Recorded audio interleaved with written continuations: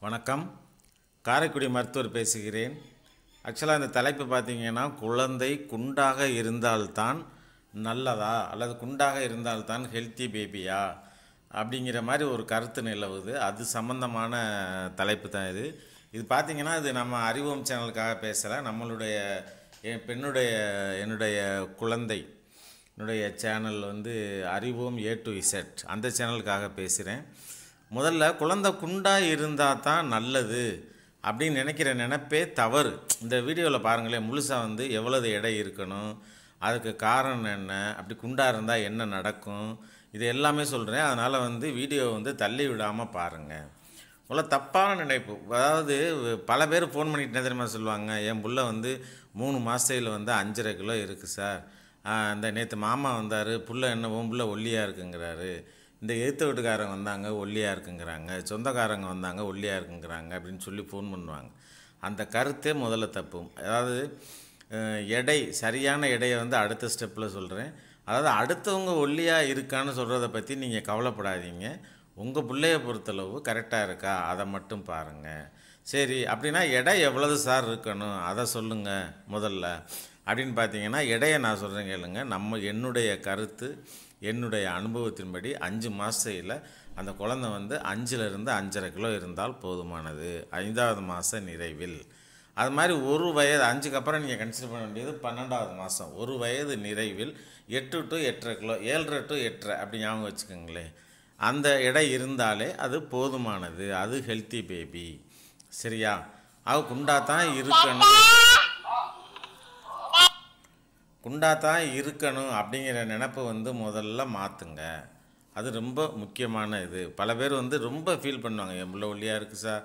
அதுக்கு ஒரு வழி சொல்லுங்கள் சார் அப்படிம்பாங்க. உடனே நான் வந்து எடை அப்படின்னு கொடுத்தோம்னா அது வந்து எக்கு தப்பாக தான் இருக்கும். அதனால் வந்து அந்த எண்ணத்தை மாற்றுங்கள் ஒன்று ரெண்டாவது வந்து அந்த மாதிரி உடம்பு வந்து ஒல்லியாகவே இருக்கிறதுக்கு அது எப்படி இருக்கணுங்கிறத இறுதியாக சொல்கிறேன் அப்படி இருக்கிறதுக்கு வந்து வார்ஸ் அமைப்பு கூட காரணமாக இருக்கலாம். சில வார்ஸ் அமைப்பு பார்த்திங்கன்னா இருபத்தி ரெண்டு வயசு வரைக்கும் கூட ஒல்லியாகவே தான் இருப்பேன். இருபத்தஞ்சி வயசு வரைக்கும் கூட அவன் சாப்பிட்றானா பட்னியாக கிடக்கிறானான்னு கூட தெரியாது. அந்தளவுக்கு ஒல்லியாக தான் இருப்பாங்க. கல்யாணம்னு ஒன்று பண்ணி இருபத்தாறு இருபத்தேழு வந்துருச்சு. முப்பது வந்துருச்சு பார்த்தீங்கன்னா பெரிய தொப்பையை வச்சு இது பண்ணி வந்துடுவாங்க அதனால் வார்ச அமைப்புகள் உடல் வந்து குண்டாக தெரிகிறதுங்கிறது உடல் வார்ச அமைப்பை பொறுத்தது. அதனால் வந்து எடையை வச்சு அதை கணக்கு பண்ணாதீங்க. சரி அப்போ குண்டாக இருந்தால் என்ன சார்? தப்பா?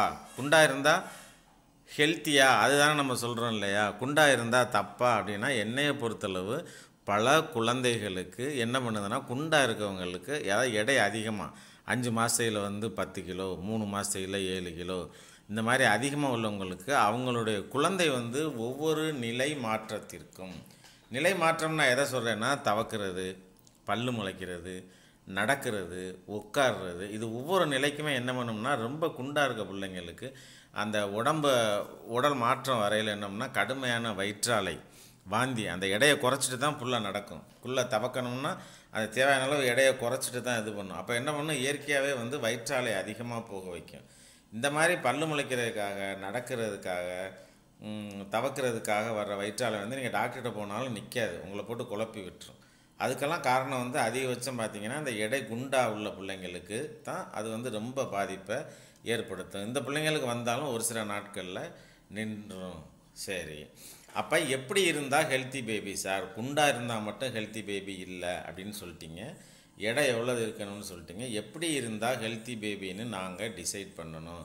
பேரண்ட்ஸுக்கு சொல்லுங்கள் அப்படின்னு நீங்கள் கேட்டிங்கன்னா இடம் எடை சொல்லிட்டோம். அஞ்சு மாதத்தில் அஞ்சு கிலோ ஒரு வருஷத்தில் வந்து ஏழரை டு எட்டரை கிலோ இருந்தாலே போதுமானது அப்படிங்கிறத சொல்லிட்டோம். ஆக புள்ள எப்படி இருந்தால் நல்லதுன்னு பார்த்தீங்கன்னா யூரின் வந்து நல்லா போகுதா? மோஷன் ஒரு நாளைக்கு ரெண்டு தடவை போகுதா? ரெண்டு. மூணாவது வந்து சுறுசுறுப்பாக இருக்கா? நார்மலாக தூங்குதா? வழக்கமான செயல்களுக்கு சுறுசுறுப்பாக இருக்கா? அப்படி இருந்தாலே அது வந்து நார்மலான குழந்தை தான் அந்த குழந்தைய பற்றி தேவையில்லாமல் கவலைப்பட்டு உங்களது ஆர்வ கோளாறுனாலேயோ இல்லை அடுத்தவங்க சொல்கிறத கேட்டோ வீணாவில் அந்த குழந்தைய போட்டு தொல்லை பண்ணாதீங்க. ஆக குண்டாக இருந்தால் மட்டும் ஹெல்த்தி பேபி கிடையாது. தகவலை முழுசாக கேளுங்க. உங்களுக்கு தேவையான நாலேஜ் கிடைக்கும். தவறான கருத்தை புரிஞ்சுக்கிட்டு பிள்ளைகளை போட்டு டார்ச்சர் பண்ணாதீங்க.